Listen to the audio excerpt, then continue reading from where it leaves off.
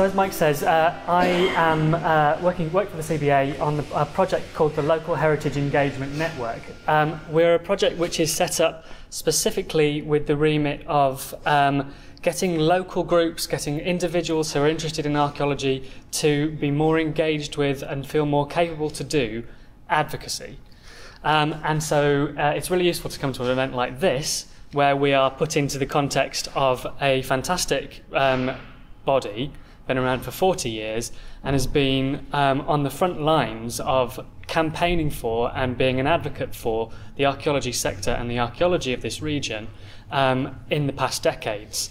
And so, really brilliant to be set up by Ben's talk, which leads precisely from um, some of those uh, strands of what this society and others like it have done in the past to what they might be able to do in the next 40 years and beyond um, in terms of making sure that archaeology is protected, making sure that there are resources for it to be investigated, and to make sure that um, it can be enjoyed by as many people as possible.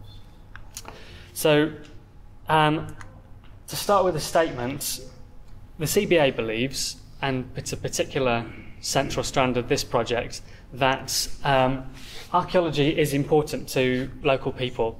And because of that, people need to be seen as a core stakeholder and must express that value um, to those who make decisions about um, and affecting the future of, of, of archaeology. Um, and so this this, I believe, is very true that, that local voluntary groups are a crucial part of local decision making when it comes to archaeology and how that happens. Um, so, some people may express this through um, taking every, every opportunity they can to invest in a, a, specific process like the planning system, watching for uh, sites that come up through the planning system, commenting on those sites through the mechanisms that are available. Um, some may campaign to raise a particular issue to prominence. Um, Mike Novell was talking about some industrial archaeology projects this morning that kind of fit into that mould. Others simply may take the opportunity to use the democratic processes that exist to raise their voice about the issues that matter to them by speaking to their local councillors or their local um, um, MPs. So, in addition to the local voluntary groups being a crucial part of decision making, I think that there is some kind of advocacy that you can do no matter what your involvement um, in or interest in archaeology is. Um, and it's just about finding what that avenue is for you.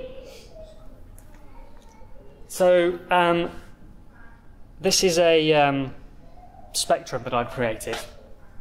Disagree with it if you like. It, what it does is to set out um, an interest in archaeology down in this bottom left hand corner up to um, influence in how this process is managed. So you, have got your private and accent actions down the bottom, your public actions up on the top. I'm sorry I haven't updated it um, with a picture of our new Prime Minister, but there's also less funny clip art available of, of Theresa May at the moment, so we stuck with David, David Cameron being given a headache. Um, and you can find where you where you sit on this um, spectrum largely as an individual or as a local group. Um, do you run lectures or walks or put on exhibitions? Do you volunteer at a museum or at a, um, a local community site? And what I want people to think about is how they can take something that they already do, um, bit of community archaeology, and move themselves further to the top right hand side of this graph. And this is what I think the, the central interest in, in, thinking about how you can, how we can do more advocacy as a community sector. Um, pick a, pick one, anyone. Being a member of a local group, being a member of an active local group. So for MAS, that might mean thinking about what the strategic priorities are for this group to raise the profile of archaeology. Does it have um, a strategy for getting into the local media? The stories that could be generated, are they? Are they pushed out in the right places to get that influence and impact? Um, do you publish results? And how do you disseminate those results, not just to the people who have the interest, but to the people who are the decision makers, who might not know about the archaeology, who might not really have an interest in the archaeology, but what they should have an interest in is the fact that there are a large number of people in their communities that do have that interest themselves.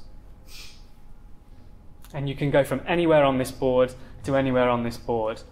Have concerns, the broadest one on the, on the spectrum, possibly, you can make that an advocacy action simply by communicating those concerns to your local representatives. Do you go on a lecture or a walk, or do you run them? And do you invite your local MP to attend those walks with you? These are the kinds of actions that um, we can all look at in our involvement in archaeology. So, okay, if there are things that we can do, um, why should we? Why does archaeology, uh, why does advocacy matter to archaeology, and why should I care? Um, so I gather you've had some of this context yesterday um, and today, in fact. We've talked about uh, the development of historic environment records and what they do for archaeology, what they enable. Um, we talked a little bit uh, yesterday about the specialist advisors that exist to um, give advice through these processes, whether through planning or through museums um, or through the portable antiquity scheme, as we some of us heard over lunchtime, um, and other uh, avenues for, for engagement that are sometimes present in local authorities, the likes of um, outreach for education, um, things like historic landscape characterization projects, all of these kinds of um, avenues which have the potential to engage people and use the resources of the uh, local groups like MAS to um, create benefits for um, the historic environment and enjoyment for the people um, who are interested in it. Um, we've talked in some broad mention about some of the threats that existed in the past and how Merseyside Archaeological Society was involved with those. And we're coming around again, I think, to an era where those similar threats are, are, in, are, are, are on us, are upon us. So we have changes to the planning process which are um, fundamentally altering the processes that we rely on to do archaeology. Um, these these that potentially threatening the system that we put in place in 1989, um, 1990 rather, um, that's allowed us to uh, enjoy such a, boon time for archaeology in the planning system. It's nearly eight years, is it, Mike, since Merseyside lost their um, curatorial services um, 2000, late 2000s.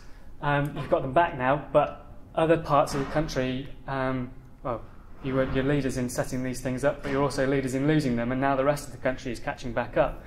Lancashire being the case in point, I I'll have a slide on that in a second. Um, but these things will come back round again and are coming back round again more across the country. Um, erosion in capacity, even if you don't lose your service, there, there's less and less money supporting these services with less and less capacity to do things. Um, because of that, there's greater isolation between those services. And there's no longer the ability to uh, have effective joined up working.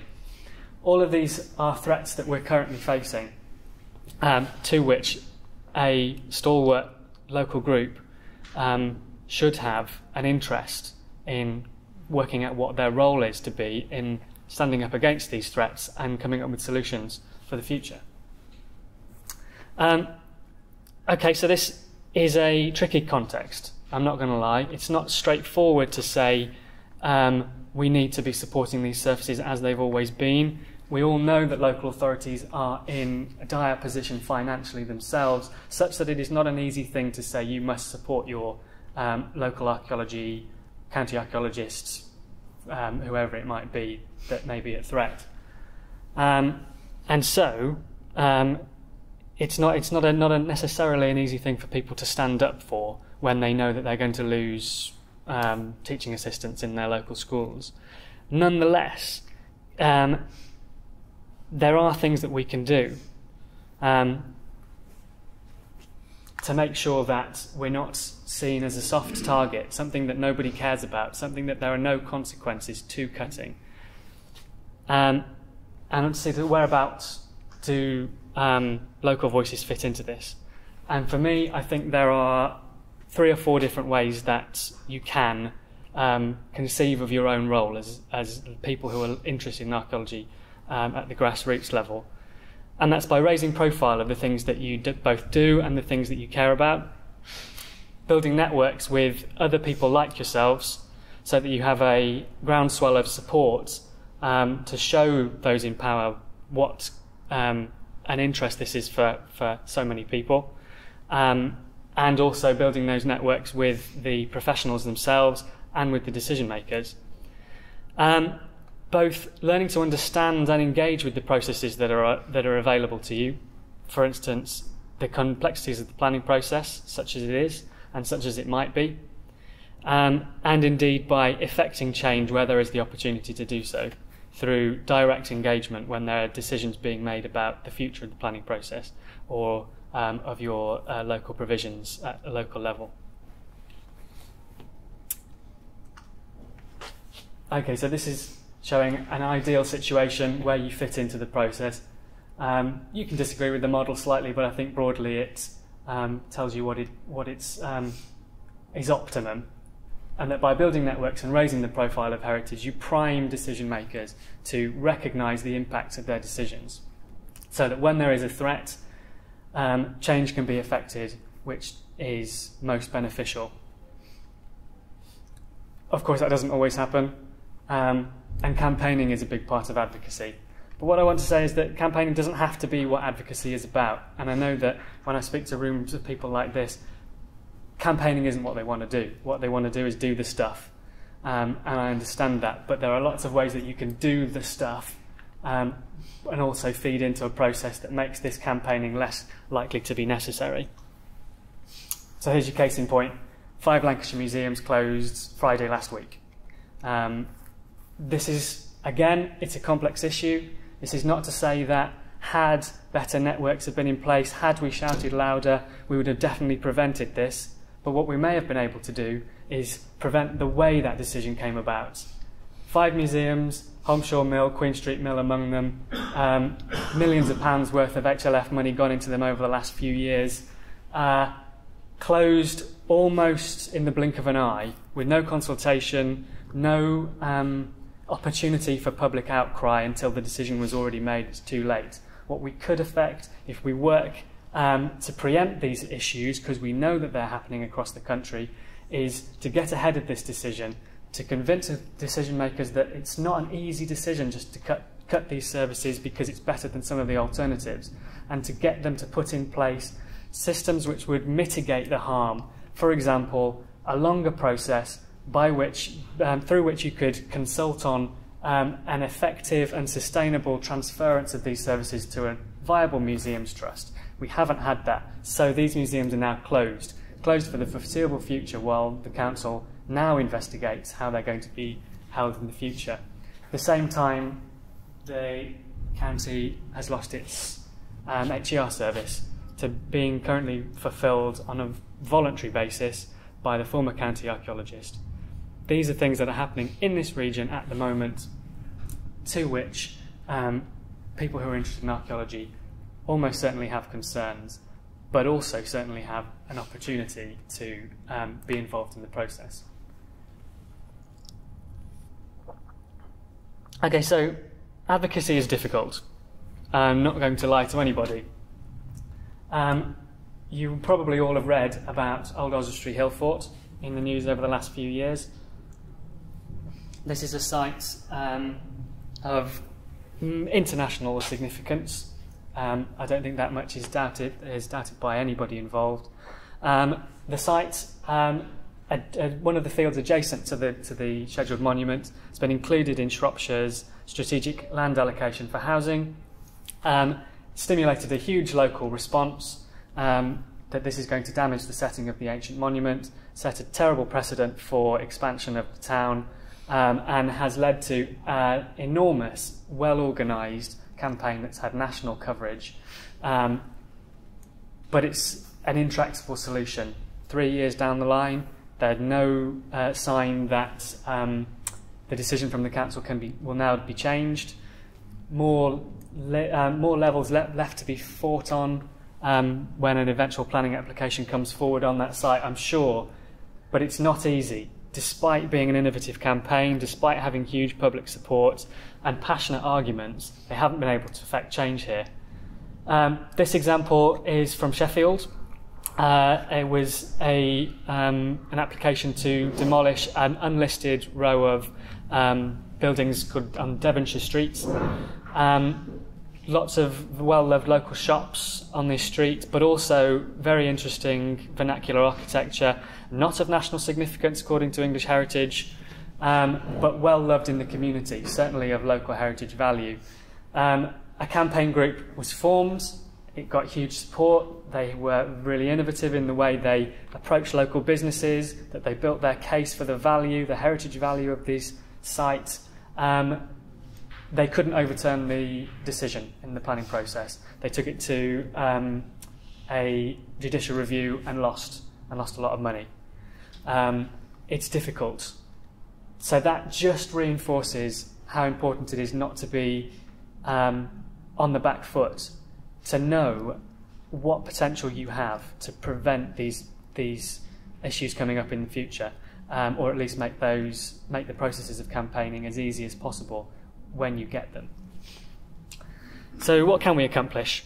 Um, it's a common concern for many people. They feel like a lone voice. They feel like they've left it too late. They don't know what they can accomplish. But um, it is possible to highlight the importance of archaeology and heritage um, in a way that they may not be recognised by many people who are involved in making these decisions, whether that be um, deciding which site goes into a local plan or um, deciding which service gets its budget cut um, in a round of um, budget negotiations. It's possible to stimulate media interest, not just necessarily in the crisis, but in the great things that is, are done by archaeology. Yes, we already do this, but are we conscious when we do it that we're linking the good news stories, the celebrations of what we do, with the potential to prevent things like um, Old Oswestry or the closure of Lancashire museums happening um, in the area that you're doing this work in? Um, it's possible to lay the groundwork for communications, to know who your heritage champion is, to have a dialogue with them about what it is you do and why it's important that you're facilitated to do that by your local HER officer, by your county archaeologist, by your um, local finds liaison officer. Um, the more that you can raise awareness of the processes and their value to those people who make the decisions, um, the less likely it is that they will sit silently in their seats, be it in Parliament or the local council, when an item comes up to cut the budget of the historic environment record, for instance. Um, and it is possible to uh, seek new and innovative ways of doing things through volunteerism, through community participation, particularly the likes of a, of a big, well organised um, society like MAS. Um, there are absolutely ways that groups like yourselves are engaging with councils across the country to um, be involved in these processes and raise the profile of archaeology and heritage more generally. Um, so, an example, um, two examples really. Uh, one from Nottingham as the initial seed. Um, Nottingham have a heritage strategy published in tw- late 2014, early 2015. Um, this wasn't the result of local campaigning, it has to be said. It was a result of the City Council realising that if they have a proper heritage strategy for the city, they're much more likely to be able to lever in millions of pounds worth of HLF money, which is a good thing as far as they're concerned. Um, it's a brilliant strategy. There are um, really kind of great um, mechanisms for uh, uh, uh, building up networks through local volunteers and um, local groups that are interested in doing projects, groups that are currently doing projects. Um, it's it's really useful, and I, if you if you have any interest, I suggest that you go and pick up a copy and have a read. Um, that's what some of the people in Sheffield did. They read this document and decided that they wanted one for Sheffield. So as we speak, um, Sheffield is going through a um, really quite brilliant campaign to get their city council to um, commit to something similar to this.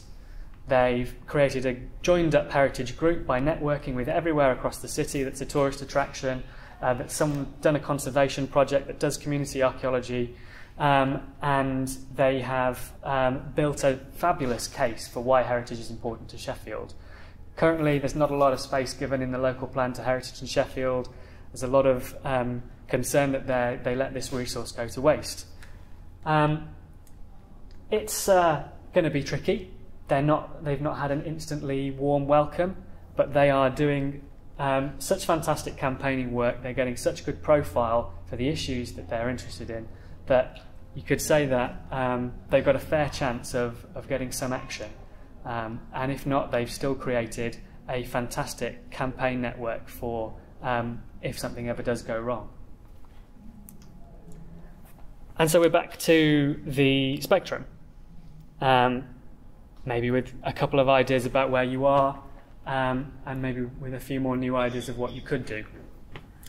Um, and in the last few minutes, I have a few ideas at a easy level, a basic level. Um, we're referring to speaking up, just speaking up um, in whatever way is easy for you, whatever way available for you. Um, so, what do you need? You need to get some background information on the threats.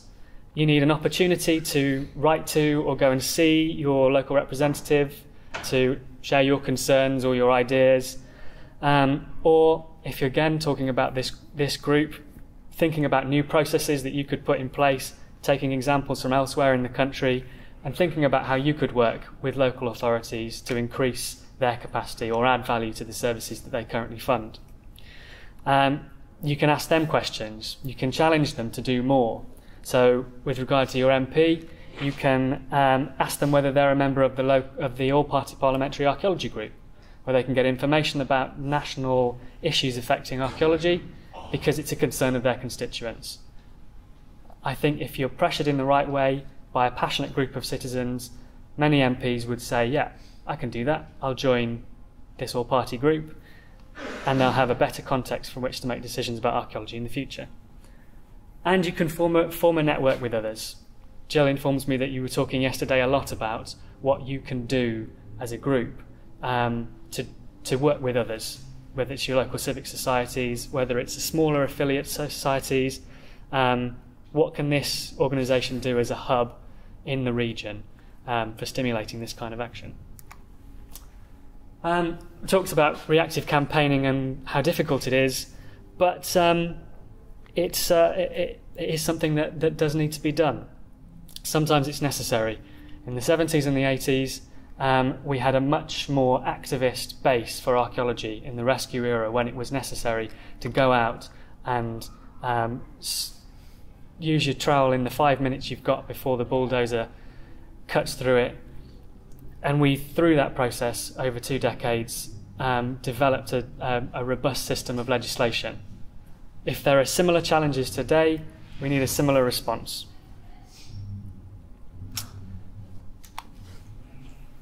Um, okay, this is just an example of a resource that you might find. It's from campaignstrategy.org.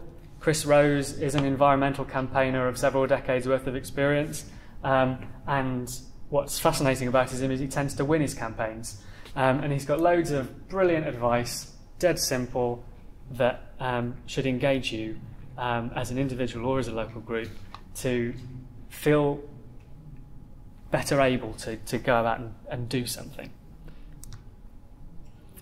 And there's proactive campaigning. As I say, this is hard work. There are constraints and frustrations. It may take a process of years. Um, you may have to commit to doing something yourself. We talk about localism or volunteerism or added, um, added value. Um, these are things which are um, driving forward the debate on local services and how these services are going to be delivered in future. And a proactive local group will be thinking now about what it is that they could do to make sure that the situation is positive in the future, whatever um, model we end up with for dealing with archaeology. Um, know your arguments inside out, fairly obvious. Organise, strategise, network. And importantly, in order to get that knowledge and to know your arguments, there's plenty of guidance on how to do it. The Local Heritage Engagement Network has toolkits on its website um, on how to engage with some of these processes. Um, if there's something that isn't there, ask us because you're not going to be the only person who wants it. We'll investigate it, we'll research it, we'll do it for you, and put that toolkit up for other people um, to use. But then it's not just us. Historic England, lots of technical information available. Um, Civic Voice, another example of a group that puts out fantastic information. And more than that, if you don't know where to go, drop us an email because we're here to um, point you in the right direction of where you might get the information that you need, where you might have a question about how you start a campaign or get involved with a particular process. You're not going to be the first group to have done it, whatever it is you want to do. And we can hopefully put you in touch with another group that's several steps ahead of you in the process. Just to make it just that bit easier to work out what's possible. Um, and finally, uh, I've gone around and dropped some postcards on your chairs um, uh, at the break. Pick them up and have a look. We've come up with this pledge. This is essentially the very base, most basic of levels um, for you to decide I am going to um, raise my voice and send this postcard to my local decision makers to ask them um, whether they will sign up. Sign up. Um, there's no register or anything at the moment. So these three simple um, pledges. I'll value the local heritage that makes my local area special. I'll speak up for fair archaeological protections in the planning system and I will champion the role of government to celebrate and encourage the appreciation of archaeology and heritage in, across the UK.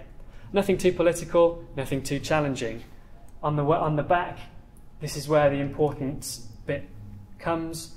You put down why it's important to you, why they should listen to you, their constituent or their ward member, um, and why archaeology needs to be in their thinking, um, in their, whatever their work is. Send it to them, ask them to send you a response, to post a picture of the pledge. This is one way among many to get involved. And if you want to write a letter, staple it to the card and send it in. If you just want to tweet a picture of the card, we've all been here today standing outside a fantastic resource as a community group.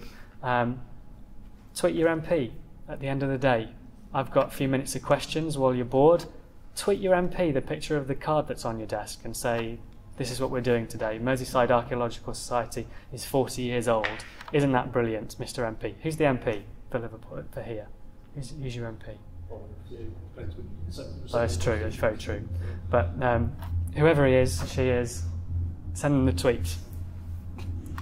Um, and please take down our details, because as, as, as we say, we're a service here that we want to provide information for you. We um, want to put you in contact with others who could help you. Um, so please do get in touch. Thanks.